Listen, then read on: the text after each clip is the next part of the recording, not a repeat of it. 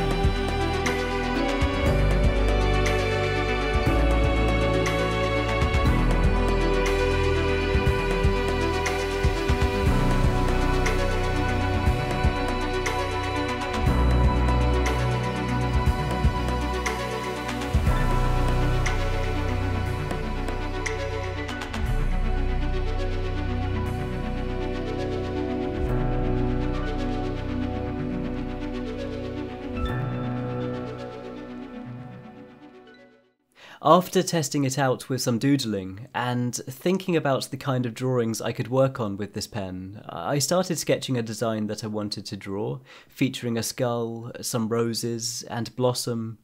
Uh, it's been a while since I worked on any skull drawings as well, so I thought this would be a great opportunity to try something a bit different, while also trying out this new pen, making it a fun challenge.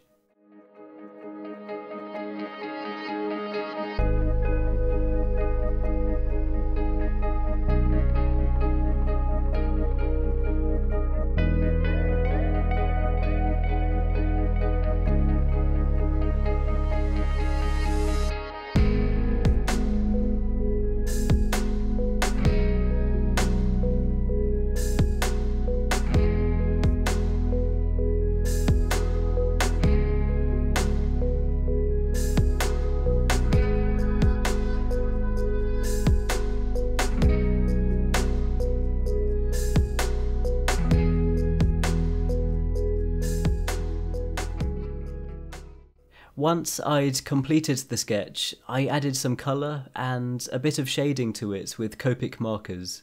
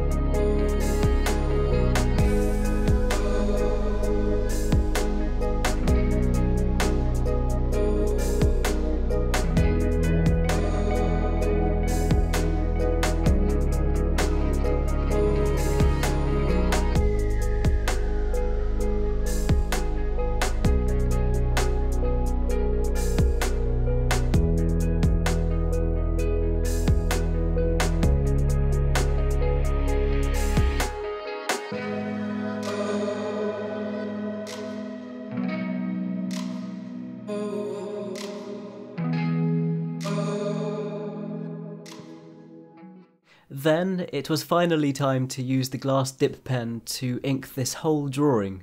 And after testing it out earlier, I was excited to see what kind of line work I could create with it. Um, the first thing I noticed, as it's glass, there isn't any flexibility in the nib, so you don't you're kind of restricted on the kind of line thickness you can create you can't um, have too much variation uh, the only way i found was to angle the pen and that way you could create some finer lines before trying it out, as it's glass, I imagined it would create lines that weren't completely smooth. Maybe they would have some rough and textured areas.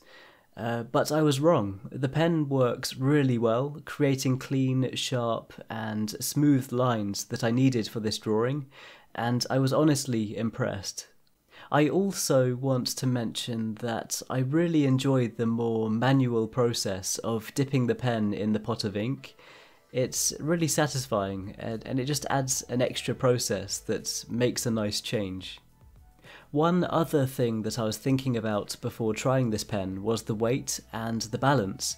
Considering it's handmade, I, I, I wasn't sure if that was going to affect and if it would have any issues with its balance, but honestly, there were no problems there. The, the weight and the balance felt just right, and it was comfortable to hold, and I found it to work perfectly well.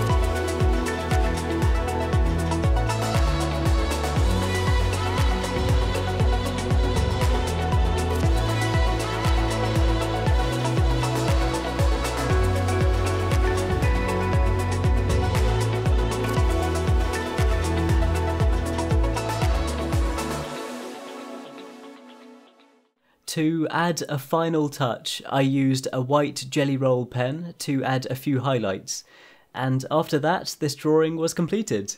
I loved using this pen, it's so awesome, and I'm really glad I gave this a try. Uh, be sure to let me know what you think of this drawing in the comments below.